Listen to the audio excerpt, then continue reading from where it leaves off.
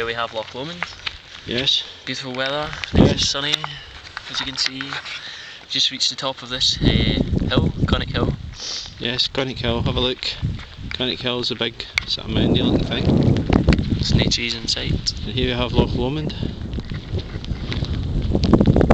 And way, way over on the other side the sunshine. But here it's pissing with rain. As you can see, we're getting totally soaked. Loch Lomond. Floodlands. Daddy's car's miles bloody away. Eh? Hunters and hunters are names. Daddy-o.